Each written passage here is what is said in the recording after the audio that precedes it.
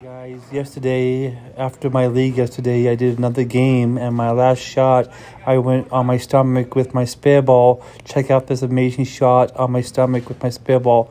Uh, subscribe to my YouTube channel, like, share, comment. Alright, guys, bye for now.